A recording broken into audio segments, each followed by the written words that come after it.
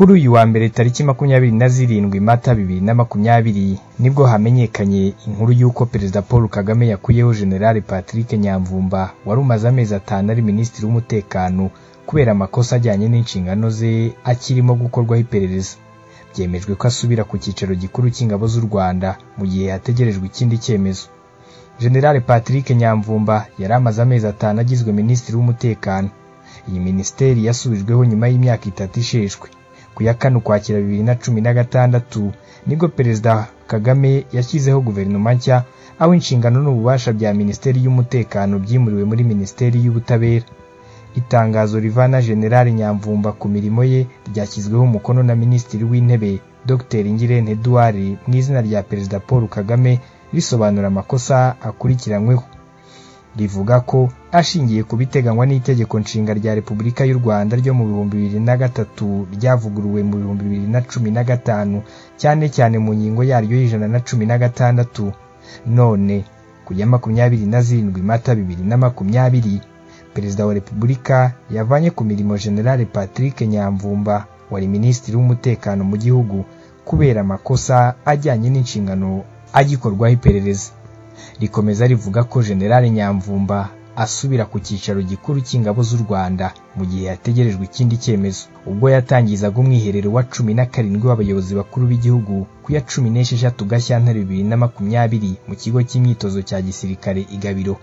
Perezida kagame yavuze ku bwegure bw'abanyamabanga ba leta evode uwizeyimana na dr. Munyakazi isaac n'uwari minisitiri w'ubuzima dr. Diane gashumba. Yavuze ko iyo umwiherero utangira ari ku wa kabiri hagombaga kuba havuyemo abandi nka batatu. Perezida kagame yavuze ko hari ikibazo kigaragaramo dr. Diane gashumba cy'amavuriro.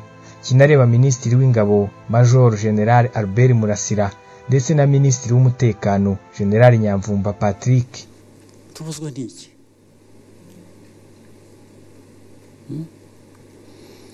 Minisita wa defense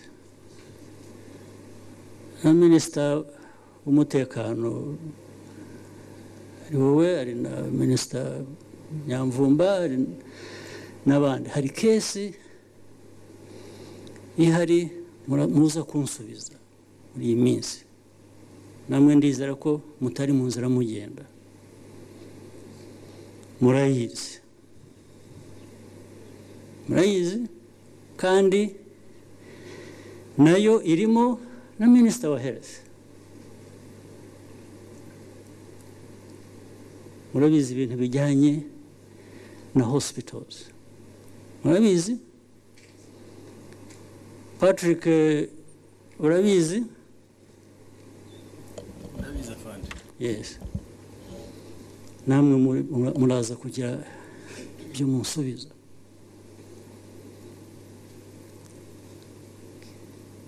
ubu uyu munsi wagiye kugera ntabwo nari nzi kuri bugere vuba ko nawe ushakaga nawe ushakaga kandi ubu turi mu sizoni aho numva ashaka guhangana n'ibibazo nk'ibi ngibi. Kubera ko hashize imyaka umuntu aravuga arasubiramo ibintu mwangiza ibintu mwangiza ni iby'abanyarwanda ni iby'u rwanda ntabwo ari ibyanyu.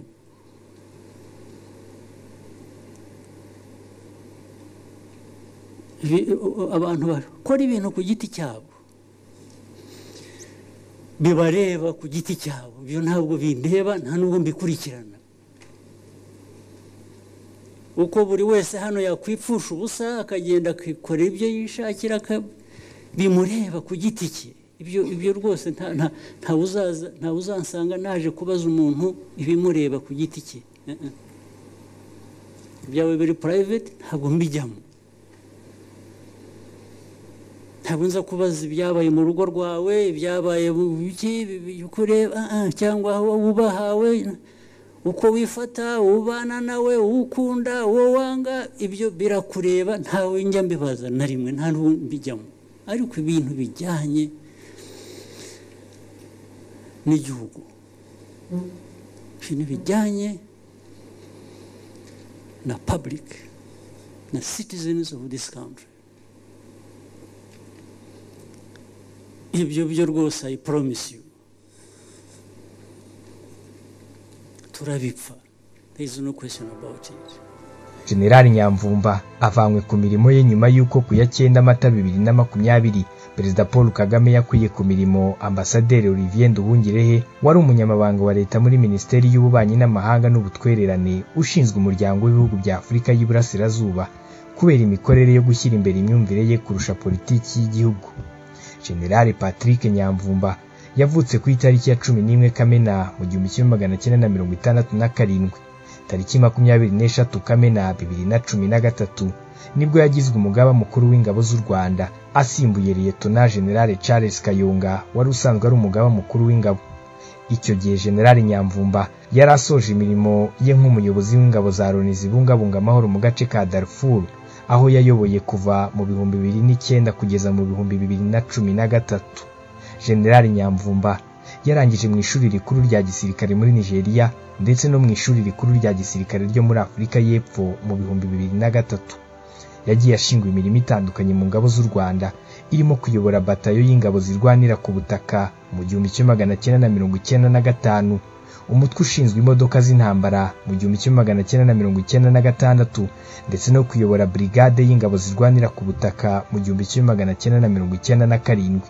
Hagati y'igihumbi kimwe magana cyenda na mirongo icyenda n'umunani n'igihumbi kimwe magana cyenda na mirongo icyenda n'icyenda. Yabaye umuyobozi ukuriye ibikorwa igenamigambi n'imyitozo ku rwego rw'icyicaro gikuru cy'ingabo. Yayoboye ikigo gishinzwe gutegura abasirikare bajya mu butumwa bw'amahoro kuva mu bihumbi bibiri na kane kugeza mu bihumbi bibiri na karindwi. Indi mirimo yashinzwe harimo kuyobora itsinda ryiga ihurizwa hamwe ry'umutwe umwe w'ingabo z'u rwanda kuyobora komite ishinzwe ingengo y'imari y'ingabo ayobora n'umushinga wari ushinzwe kwiga ishyirwaho ry'ishuri rikuru rya gisirikare. Generali nyamvumba yanabaye kandi intumwa ihuza u rwanda afurika yunze ubumwe n'umuryango w'abibumbye aho yagiye ashingwa kuganira n'izo nzego no gusinya amasezerano y'ubufatanye ahagarariye igihugu cy'u rwanda. Yabaye umuyobozi w'ishami rikuru rya gisirikare rishinzwe gucunga ibikoresho. Mu bihumbi bibiri na karindwi kandi yanabaye perezida w'urukiko rukuru rwa gisirikare. Afite imidari myinshi irimo uwo kubohora igihugu uwo guhagarika jenoside uw'urugamba rwo hanze y'igihugu uw'ishyirwaho ry'umukuru w'igihugu uwo kuyobora ingabo uw'ibikorwa byo guteza imbere igihugu umudari witiriwe nil ndetse n'uwo gukorera loni igihe kirekire.